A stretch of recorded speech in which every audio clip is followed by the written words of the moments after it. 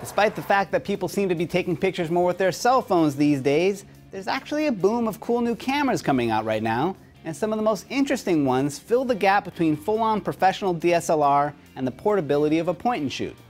So if you're ready to graduate from Instagram, or maybe you've already got a DSLR and want something a little more agile, these are the five cameras you're looking for. Compact cameras for advanced shooters, hand selected by CNET senior camera editor, Lori Grunin. Starting off at number five, the Sony CyberShot DSC RX1. Now, it may be number five on this list, but it's actually the number one camera here in terms of photo quality. You get a full frame professional grade sensor and a stunning Carl Zeiss 35mm lens. Now, there's no optical viewfinder, but that's not why it's at the bottom of this list. So, what's the catch? Well, how about a $2,600 price tag? You can spend the same amount on a nice DSLR with a lot more shooting flexibility but if what you really want is something compact that doesn't sacrifice an inch on image quality, then this is the camera for you. Number four comes down to earth, a bit. It's the Fujifilm X100S. Priced at $1,300, this retro-styled compact packs a great viewfinder and works well under manual control. You're dealing with a slightly smaller APS-C sensor and the lens is a little quirky, and the autofocus isn't the best, but the overall image quality is beautiful. Plus, it's a hip looking camera. It's like a mustache and a beer cozy away from moving to Brooklyn. At number three, the Canon PowerShot G15. Finally, a camera that won't bankrupt me. It's also the last camera on this list that you'll see with an optical viewfinder. So if that's a must-have feature and you don't have a grand to drop, the G15 is your best bet.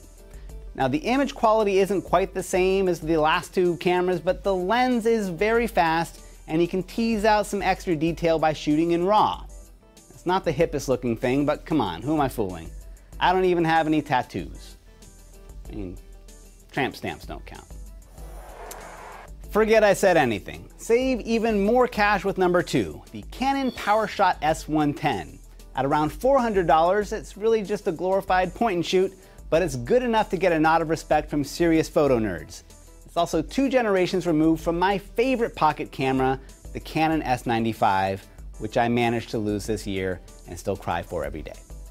Like the S95 and the S100, the S110 offers a lot of manual control and will even shoot in RAW if you want to squeeze it for all it's got. No viewfinder and the touchscreen is a little bit more trouble than it's worth, but it's small enough to fit in any pocket and small enough to lose.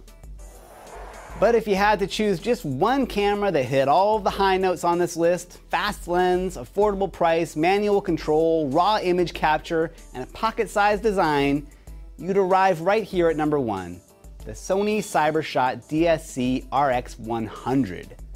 Fast, bright Carl Zeiss lens, big old 20 megapixel sensor, adjustment ring right on the lens. Not the cheapest at $650, but worth every penny. This is the pocket point and shoot that puts all the rest to shame. So there you have it, five great cameras that will fill the void between your cell phone camera and a full-blown DSLR. For a few other recommendations, check out senior editor Lori Grunin's full roundup over at cnet.com. I'm Donald Bell. Thanks for watching.